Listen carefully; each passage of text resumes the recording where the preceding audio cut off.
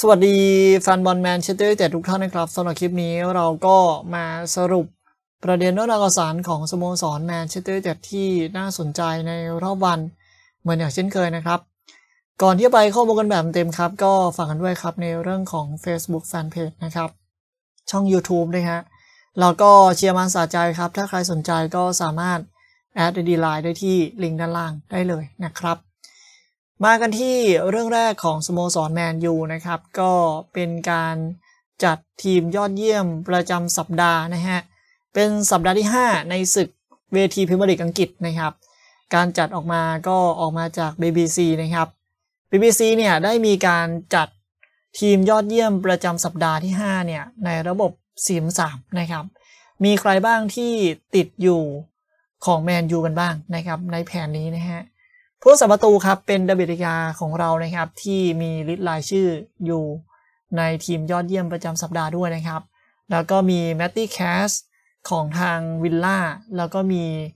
ทางคริสตอฟเฟอร์ อาเยอร์ของเบรนท์ฟอร์ดนะครับ แล้วก็มีกาเบรียล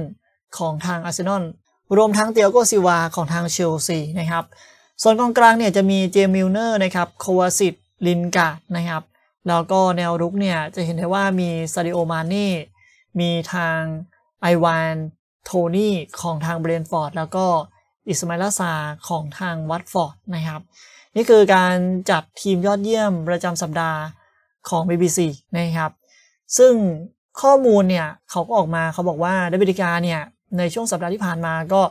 คงไม่มีใครโดดเด่นเกินกว่าดาบิด เดเคอาแล้วนะครับ ในตำแหน่งผู้รักษาประตูที่ช่วยเซฟจุดโทษในช่วงทดเจ็บ ทำให้แมนยูเนี่ยบุกไปคว้า 3 แต้มจากเวสต์แฮมได้แบบสุดดราม่า ซึ่งในรายของทางลินการ์ดเนี่ย BBC ก็ให้ข้อมูลมานะครับว่าลินการ์ดก็กลายมาเป็นฮีโร่ของทีมในเกมนั้นด้วยครับ เมื่อมายิงประตูแบบสุดสวยในช่วงท้ายเกมครับ ก็ช่วยให้แมนยูพลิกแซงขึ้นนำ2-1 สุดท้ายก็คว้าชัยสำเร็จนะครับนะโอเค นี่คือ 2 นักเตะที่ติดทีมยอดเยี่ยมของ BBC นะครับที่เอามาว่ากัน ส่วนเรื่องราวต่อมานะครับ ก็เป็นเรื่องราวของคริสเตียโนโรนัลโดนะครับ มีอะไรน่าสนใจครับก็คือ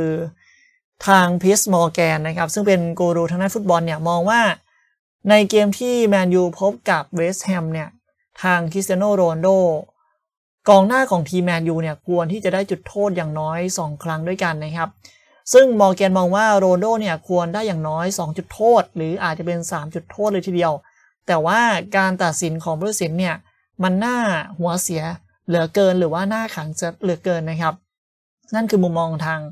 มอแกนนะครับที่มองว่ามีจังหวะหน้ากังขาอยู่นะครับ แล้วก็จังหวะการที่เรียกจุดโทษเนี่ยก็ยังคงมีการพูดถึงการหลังเกมด้วยนะครับ ในจังหวะดังกล่าวนะฮะส่วนสถิติที่น่าสนใจหลังเกมครับมีอะไรน่าสนใจบ้างนะครับแมนเชสเตอร์ยูไนเต็ดเนี่ยเก็บได้ 35 แต้มครับหลังจากที่ตกเป็นฝ่ายเพลี่ยงพล้ำไปก่อนนะครับ ซึ่งถือว่ามากกว่าทีมอื่นถึงเกือบ 2 เท่านะครับ โดยสถิตินี้ถูกนับย้อนไปตั้งแต่ช่วง season ที่ผ่านมาด้วยนะครับ นี่คือสถิติเรื่องแรก ส่วนสถิติที่ 2 ครับที่หลังจากพบกับเวสต์แฮมเนี่ยทางด้านของเดวิดเดเกอาเนี่ยเซฟจุดโทษได้เป็นครั้งแรกครับนะตั้งแต่เดือนเมษายน ปี 2016 นะครับ โดยถูกนับตั้งแต่ในนามทีมชาติแล้วก็สโมสร หลังจากที่ก่อนหน้านี้ตัวเขาเองเนี่ยถูกยิงจุดโทษมาถึง 40 ครั้ง แล้วก็ไม่สามารถเซฟได้เลยนะครับ จนกระทั่ง ในเกมพบกับเวสต์แฮมนั่นแหละ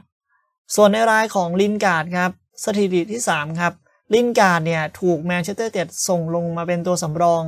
ถือว่าเป็นผู้เล่นคนที่ 47 ครับ ที่ทำประตูใส่เวสต์แฮมได้ในพรีเมียร์ลีกอังกฤษนะครับ แล้วก็สถิติอีกเรื่องหนึ่งก็คือ สนามกีฬาลอนดอนสเตเดียมของทางเวสต์แฮมเนี่ยเป็นสนามกีฬาลำดับที่ 66 ที่คริสเตียโนโรนัลโดเนี่ยทำประตูได้ในการแข่งขันเฉพาะ 5 ลีกใหญ่ของยุโรปมากกว่า ผู้เล่นคนอื่นๆนะครับนับตั้งแต่ที่ประเดิมสนามกับแมนยูเมื่อปี 2003จนถึง 2004 มากกว่าซาราตันอิบราฮิโมวิชที่ทำได้ 64 ครั้งด้วยกันนะฮะนี่คือสถิติที่น่าสนใจ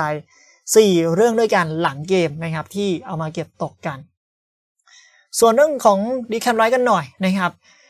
ล่าสุดครับรอยคีนเนี่ยก็เป็นอดีตกองกลางของแมนยูเรานะครับ ออกมายอมรับครับว่าเขาเนี่ยชื่นชอบในฝีเท้าของดีแคนไรท์เป็นอย่างมากเลยทีเดียวนะครับ ถึงขั้นที่มีการแนะนำให้โอเลกุนนาร์โซลชาเนี่ยอย่ารอช้าครับรีบไปจัดการคว้าตัวเดแคลนไรซ์มาเสริมกองกลางให้ได้ในช่วงซัมเมอร์ปีหน้านะครับหรือว่าตลาดรอบหน้านั่นเองนะครับรอยคีนบอกว่าผมคิดว่าเดแคลนไรซ์เนี่ยจะยกระดับยูไนเต็ดได้อย่างแน่นอนนะครับอันที่จริงเนี่ยผมมองว่าจากที่ผมได้ติดตามเขามาตลอด 2-3 ปีเนี่ย เดแคลนไรซ์เนี่ยพัฒนาขึ้นมากกว่าใครๆหลายคนเลยนะครับ ซึ่งเขาเนี่ยเหนือกว่าผมตอนอายุ 22 ปี ผมคิดว่าเขาจะก้าวขึ้นไปอีกขั้นเมื่อได้รับโอกาสลงเล่นในระดับที่สูงขึ้นนะครับ เมื่อผมเนี่ยพูดระดับที่สูงกว่าเดิม หมายถึงว่าก็อาจจะเป็นแมนเชสเตอร์เต็ดหรือยูฟาแชมเปี้ยนลีกนะครับหรือการได้ลงเล่นอย่างสม่ำเสมอให้กับทีมชาติอีกด้วยนะครับ นี่คือสิ่งที่ทางรอยคีนเนี่ยมีการแนะนำว่า ต้องเป็นดีคันไรนะสำหรับแมนยูนะครับ น่าจะเหมาะสมแล้วก็คลิกกัน แล้วก็แมนยูควรไปซื้อนักเตะรายนี้เข้ามา เพิ่มเติมในตำแหน่งกองกลางนะครับ ส่วนเรื่องของอองโตนีมาร์กซิยาลครับฟาบริซิโอโรมาโนเนี่ยออกมาให้ข้อมูลหลาย ๆ เรื่องนะครับ เรื่องแรกก็คือเรื่องของอองโตนีมาร์กซิยาลนะครับสถานการณ์ของมาร์กซิยาลตอนนี้ยังคงเงียบนะครับ แล้วก็ยังไม่มีการตัดสินใจใด ๆ เลย เกี่ยวกับอนาคตนะครับ แต่ถ้าเกิดณปัจจุบัน อองโตนีมาร์กซิยาลยังไม่ได้รับโอกาสหรือว่ายังเป็นแบบนี้อยู่นะครับ เรื่องของการย้ายออกจากทีมในช่วงซัมเมอร์ปีหน้ามันก็มองถึงเรื่องของการย้ายออกได้เลยนะครับ ก็มีโอกาสเหมือนกันนะ ถ้าเกิดโอกาสหรือผลงานยังไม่สม่ำเสมอนะครับ มีโอกาสโดนแยกทางกับแมนยูนะครับ ส่วนในรายของดอนนี่ฟันเดเบกครับ ก็ถือว่าตอนนี้ดอนนี่ฟันเดเบกเนี่ยยังไม่ได้รับโอกาสแบบต่อเนื่องนะครับ ซึ่งรอดูกันครับว่าในช่วงมกราคมเนี่ย จะมีการแก้ไขหรือเปล่านะครับ อาจจะมีการย้ายทีม หรือว่าพูดถึงเรื่องของการตอบรับดิว การย้ายทีมอย่างเป็นจริงเป็นจังอีกครั้งในช่วงมกราคมก็ได้นะครับ ถ้าเกิดสถานการณ์ยังเป็นแบบนี้อยู่นะฮะส่วนในรายของลุคชอว์นะครับแมนยูเนี่ยมีแผนที่จะต่อสัญญาของลุคชอว์เนี่ยตั้งแต่บอลยูโรแล้วนะครับ ซึ่งสัญญาฉบับใหม่ของลุคชอว์เนี่ยกำลังดำเนินการใกล้ที่จะเสร็จสิ้นแล้วนะครับ ซึ่งแมนยูก็มีความสุขกับ เรื่องของผลงานของลุคชอว์ด้วยนักเตะก็ happy ดีนะครับ ก็รอการยืนยันเรื่องของสัญญาของทางลุคชอว์ได้เลย อีกหนึ่งรายครับก็คือบรูโน่เฟอร์นันเดสนะฮะรายนี้ก็มีข่าวว่าแมนยูเตรียมที่จะต่อสัญญาเช่นเดียวกันครับ เพื่อเป็นการตอบแทนแล้วก็เป็นการรั้งให้แบบอยู่กันที่แบบยาวนะครับ ซึ่งบรูโน่เองก็อยากอยู่กับแมนยูต่อไปครับ แล้วก็เขารักสโมสรแห่งนี้เป็นอย่างดีด้วยนะครับ รวมถึงบรรยากาศในสนามต่างๆนะครับ คือ ภาพรวมเนี่ยบรูโน่รักแมนยูแมนยูก็ยินดีให้บรูโน่อยู่ต่อไป แล้วก็พร้อมมอบสัญญาให้ด้วยนะครับ มันคลิกกันเลยทั้งสองฝ่ายนะครับ เพราะฉะนั้นดีลนี้ก็ไม่พลาดเหมือนกัน จริง ๆ เนี่ยว่ากันว่าแมนยูเนี่ยมีการคุยสัญญาของบรูโน่เนี่ยตั้งแต่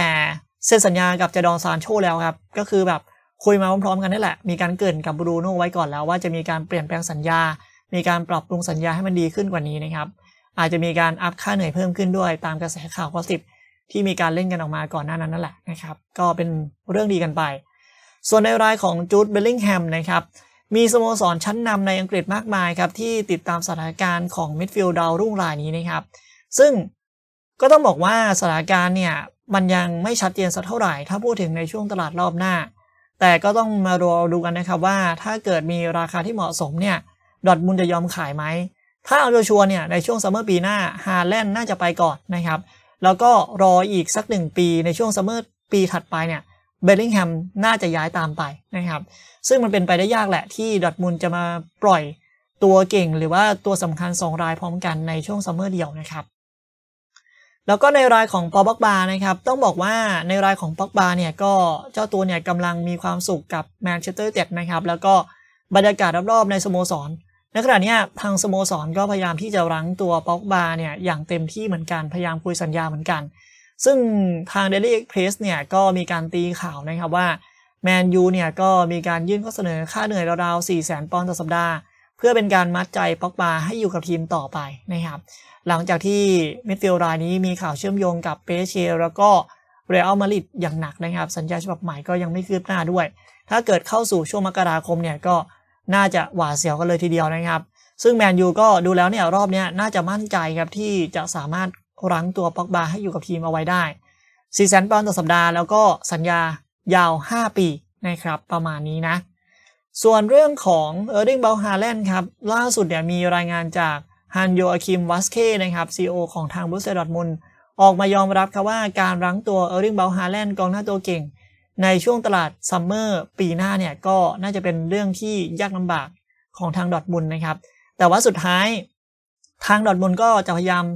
ทำอย่างเต็มที่เพื่อรั้งให้นักเตะอยู่กับทีมต่อไป หลังจากที่นักเตะรายนี้ ผลงานดีวันดีคืน แล้วก็ได้รับความสนใจจากทีมชั้นนำในยุโรปมากมาย รวมทั้งแมนเชสเตอร์ยูไนเต็ดเราด้วยนะครับโอเคครับ ก็หมดแล้วนะครับ นี่คือเรื่องราวของสโมสรแมนเชสเตอร์ยูไนเต็ดที่เอามาสรุปกันมาพูดถึงกันนะครับ ในช่วง แมนยู Passion นะครับสำหรับคลิปนี้ลากันไปก่อน ใครชอบก็ฝากกดไลค์กดแชร์กดติดตามกันด้วยแล้วกันนะครับขอบคุณมากครับ แล้วเจอกันคลิปหน้านะครับ